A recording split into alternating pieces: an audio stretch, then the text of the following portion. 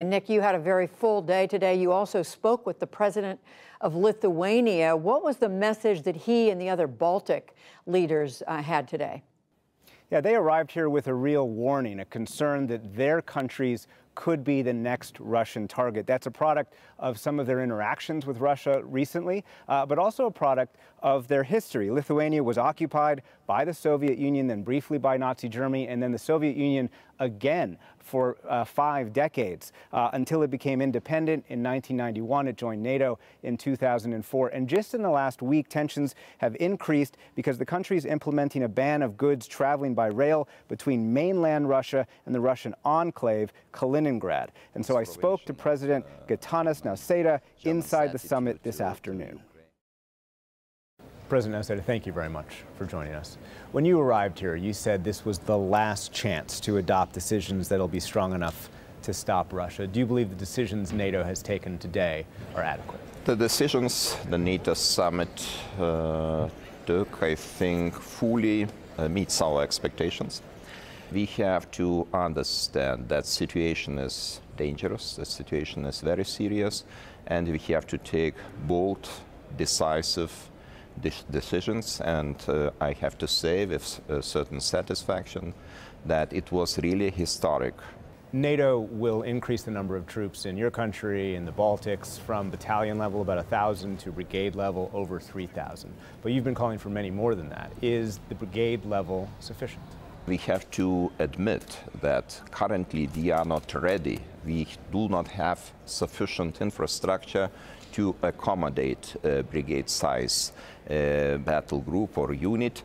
And uh, this is the reason why we have to speed up this process. So far, brigade size is okay for us. You've said that no part of NATO should have any weakness, but perhaps NATO's most vulnerable part, of course, is the Suwalki Gap, the distance between mainland Russia and the Russian enclave of Kaliningrad. How vulnerable is it? We uh, understand that this is a weak point of our uh, spot of our collective uh, defense. This uh, NATO summit uh, is a green light for preparation in order to be aware of these risks and to uh, deal with this threat adequately. Last week, uh, Lithuania stopped goods traveling on train between Russia and Belarus uh, and Kaliningrad. Uh, Russia's made threats in response to that. How serious do you believe the Russian possibility of responding militarily is? I don't believe in uh, such scenario because since 2004 we are NATO member and we have very clear assurances which were repeated many times also by President Joe Biden that Article 5 is sacred, uh, rock solid, and you know it's not so easy uh, to make harm on uh, Lithuania because we are quite well prepared. We did our homework because since the very beginning, since the regaining of our independence, we realized that Russia is long-term threat and probably we have to prepare. How do you believe the war in Ukraine should end? Uh, there is no other alternative. Ukraine uh, should win this war.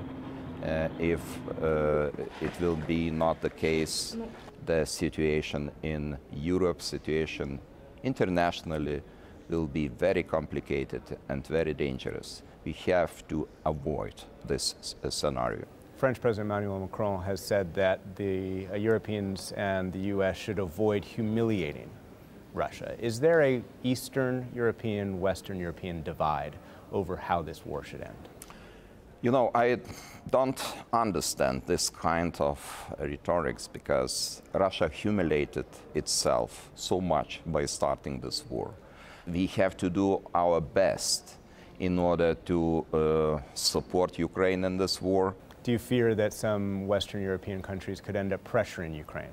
To concede some territory in order to find peace? It would be morally uh, um, just unacceptable uh, to push Ukraine to make any concessions on the territory. Do you believe there is pressure on Ukraine to concede territory?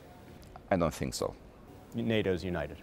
I believe in unity uh, which has certain ambitions. And this kind of unity I trust in, and I saw this unity here in Madrid. Over the last few weeks, uh, Moscow has withheld some natural gas from Europe. Uh, you've worked for years to achieve energy independence from Russia, uh, and of course, you've been able to ban natural gas imports recently. Uh, do you believe the rest of the European Union is trying to pursue the same policy that you are, and can they? I think uh, they will be uh, pressed to pursue the same policy, but we understand very well that it takes time. But if you will not start today, we will not get to the result tomorrow. To do the same as Lithuania did, to let all the illusions uh, about uh, Russia or engagement with Russia. Senior German officials admitted there was no plan B. There was had been no plans at all Unfortunately, not to use Russian energy before February 24th when Russia invaded. I remember my conversations with former uh, Chancellor uh, Angela Merkel, but they decided to go this way. Now, this way proved to be wrong. Late last year, you allowed Taiwan to open a diplomatic office in Lithuania using the title Taiwanese representative office. That was the first time any EU member had used the word Taiwanese in, in the diplomatic office inside the EU. Uh, Beijing was furious, launched uh, basically a, a, trade embargo. Uh, you've said you weren't consulted on the name change, but overall, why do you believe it's important for Lithuania to support Taiwan? This is not diplomatic office. This is trade office uh, we established in Lithuania. The reaction of Chinese authorities was not adequate, I would say. You know, we are the country which tries to uh, respect the principles and values. Sometimes we pay high price for that, but this is our policy towards other countries which are fighting for their freedom. And I think Lithuania is very consistent in this. And sometimes we are example from some, some larger countries. President Nausėda, thank you. Thank you very much.